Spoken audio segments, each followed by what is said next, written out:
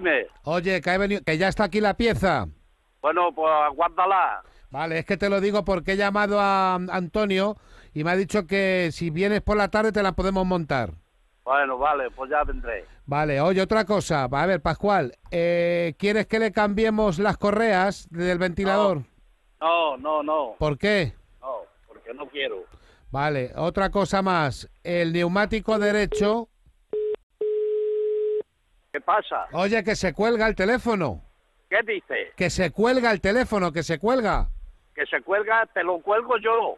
Que yo no soy el que tú estás llamando. Pero escúchame. escu- Escúchame, ni hostia. Dime, Oye, cógeme de- el número de... Dime, dime. que estás equivocado. Vamos a ver, es que te lo digo porque te llamé ayer y no cogiste el teléfono. La- No, es que, es que ese teléfono que estás marcando no es de, de uno que esté esperando una pieza. Vamos, Que te equivocas de teléfono. Pero me- O es que no se te mete en la cabeza. vamos a ver, Pascual. Vamos a ver, Pascual. Pascual ni mierda. Vamos a ver, que tengo la pieza. Que ha venido la pieza. Oye, que me estaba equivocando, que he llamado a otro señor que no era. Claro, es que, es que estás llamándome a mí que no, yo no soy. Va- Es que estaba llamando a un señor que me ha dicho que no era. Estás llamándome a mí que yo no soy el que buscas tú. Ya, ya lo sé, que es que he llamado a otro señor que Ah, no... Que no, no... otra vez. Escúchame, Otra vez, escúchame, atascado. Escúchame, que yo no soy el que estás buscando tú. No. déjame que te lo explique, déjame que te lo a mí explique. no me expliques nada. Pa- Vete a tomar por... Pascual, ¿Qué pasa? oye, que se cuelga el teléfono. ¿Qué dices? Que se cuelga el teléfono, que se cuelga. Que se cuelga, te lo cuelgo yo. Porque Ah. me tienes hasta los mismísimos c ya. Pero escúchame. Ni escúchame ni mierda. Que yo no soy el que tú estás llamando. Mira el número de teléfono, coño, que llamas. Pero escúchame, déjame que te lo explique, por favor. ¿Qué me tienes tú a mí que explicar? Vamos. Yo a ti no- ni te conozco ni ya. Pero déjame que te lo explique un momento, por favor. Pero, Déjame ya tranquilo, no llames más a este número. pero escúchame, tienes ya marcado. pero escúchame un momentito, Pascual. Escucha, escúchame tú a mí. Dime, Yo ni soy Pascual ni su madre. escúchame un momento. Vete a la. Pero de- ¿qué, ¿qué hacemos con el coche entonces? Dime, ¿Dónde te metes que, que, que estaba llamando a uno que no era, hombre? ¿Dónde te metes? ¿qué co quieres tú? Vamos, a Vamos, ver. vamos a ver, que es que ha llegado la A ver, pieza. mira, mira el número, mira el número que estás marcando, míralo. Vamos a ver, escucha un momentito, si me la ha dado, la- me la ha dado Juan el, el teléfono. Mira, yo ni conozco a Juan, ni te conozco a ti, ni, ni conozco a nadie del que me está llamando. Vamos Así a- que déjame ya tranquilo, me. Pero espérate un momentito que te explico. No tengo que esperarme nada. Que lleva media hora llamando aquí al teléfono. Llámalo, es que él corta, llámalo, corta. Que la pieza ya está aquí, que la pieza está aquí ya. Vamos a ver, otra vez. Oye, ¿Qué pasa, hombre? ¿qué pasa? ¿Cómo está, hombre? Yo estoy bien, ¿y tú? Bien, es que, que es que estoy aquí con el mecánico que dice que no le hablas, que le estás colgando... Que co me importa el mecánico, ni tú, ni tú, ni el mecánico. Pero que me ha dicho el mecánico que no quieres hablar con él. Claro que no, si yo no tengo coche ninguno ahí. Pero si es que me ha dicho el mecánico que te está llamando y que le cuelgas. Porque me salen los cojones. Vamos a ver, Pascual, escucha. Ni Pascual ni yo, yo no soy Pascual. Que está aquí la pieza al coche, que qué Que hace... yo no soy Pascual. Pero, ¿Quieres más? pero escucha un momento, no Oye, sé... ¿te quieres ir a la mierda? Pero escúchame un momento. Vete a la mierda, Pero escucha. hijo de p...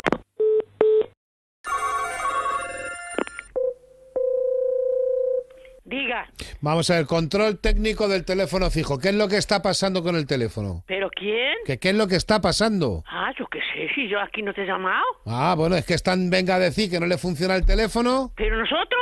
Espera un momentito, le paso con el departamento técnico. Se ha producido una incidencia en el servicio. Esperamos solucionarlo lo antes posible. Ah, pues yo no lo sé. Si Buenos yo días, servicio técnico. ¿Qué es lo que está pasando con el teléfono fijo? A ver.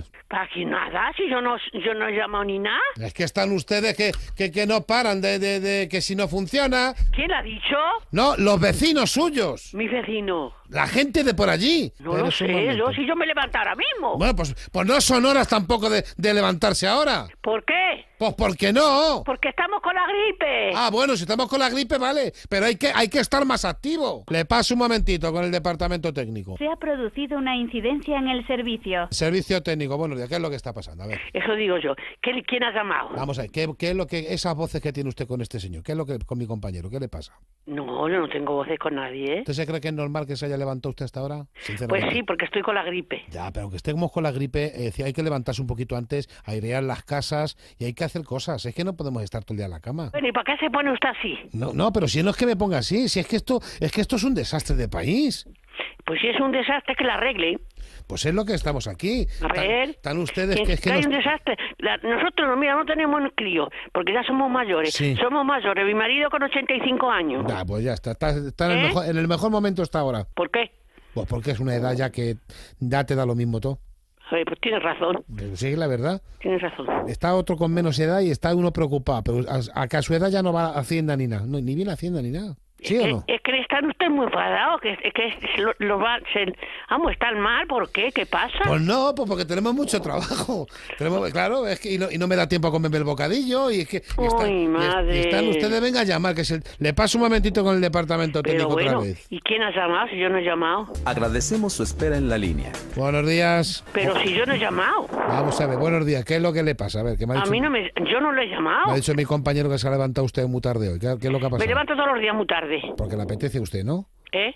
Porque le apetece. Porque estamos mi marido y yo solos ya. Pues ya está. pues. Y- ¿Qué es lo que le pasa al teléfono? A ver, que me ha dicho mi compañero que dice usted ¿Y, que, y quién ha llamado? que ha dicho usted que estaba mal el teléfono. ¿Cuándo? Si le ha dicho usted ahora mismo a mi compañero. Yo no. No sea usted embustera, señora. A mí no me llamen por embustera porque yo no he llamado. Bueno, a- Así que ya lo sabe. Le voy a pasar un momentito con el departamento técnico otra vez, porque es que, vamos, esto es un, esto es un desastre. Pues si es un desastre, la arreglen. Espérese, vamos a ver. Agradecemos su espera en la línea. Pero si no, si, si estamos, si yo no he llamado, Vamos a ver, señora, si nos que podemos... llame, a, a ver si es que llaman otro y, y- y dicen que somos nosotros. Es que no, casi no podemos estar toda la mañana, señora. Porque no está aquí mi marido, si no lo- se lo decía. Pero no discutió usted hace tiempo con los operadores. Pero esto es hace tiempo, no ahora, acabo de... ¿Qué? Venga, ¿qué pasa? Es- ¿Qué pasa? Vamos a ver, que no podemos estar así. No, se, no hace falta que usted que se enfade, hombre. ¿Cómo me, me- si yo no he llamado? ¿Cómo no me voy a enfadar? A lo que vamos. que ¿Qué tal va la cosa, por lo demás? Yo ahora bien. Le voy a pasar al departamento de que qué es lo que tiene usted de comida hoy, ¿de acuerdo? Un momentito. Tengo de comida. Agradecemos su tengo espera en la línea. Tengo cocido. Departamento técnico de, ¿qué hay de comida hoy. Diga. Que funciona bien, lo estamos comprobando y funciona bien el teléfono, ¿eh? Claro, si yo no he llamado ni nada. Sí, le funciona bastante bien. Hemos notado aquí en el cuadro que tenemos de control. Sí. Tiene usted una voz espectacular. Usted ha sido cantante. Pero si yo no soy cantante. Mira. Adiós.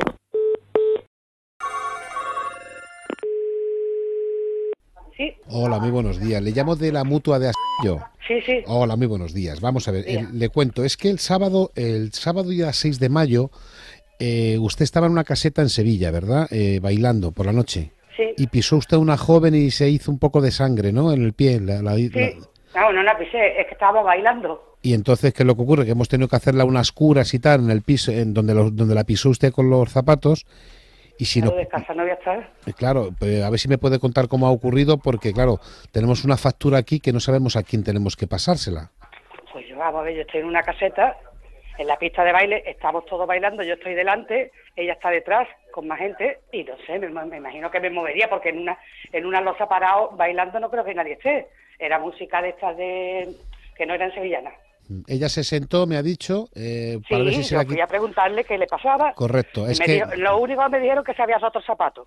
correcto, el zapato está roto y luego aparte de eso es que el piso zapato era una valenciana. Sí, una valenciana, correcto, pero digamos que es que el pisotón que le ha metido usted, eh, bueno, pues tiene el, tiene el dedo que hemos tenido que darle incluso hay unos puntitos, porque se la, es decir, le tiene que haber pillado con bastante fuerza cuando le dio usted el golpe y hemos tenido que hacer una Sí, cura.